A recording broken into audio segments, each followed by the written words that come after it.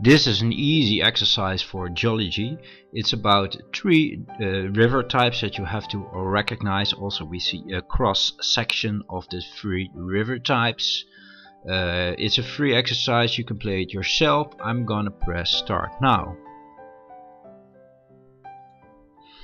Uh, here we see a meandering river, that's cross section C.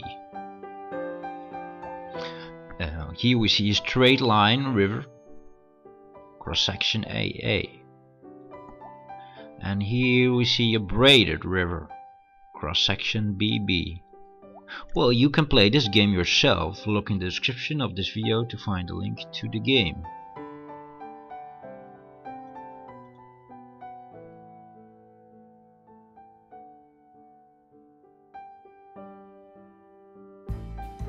Thank you for watching the video. Please don't forget to subscribe to my channel. If you're interested in watching some more geography lessons, you can watch them in those videos or some beautiful landscapes or whatever.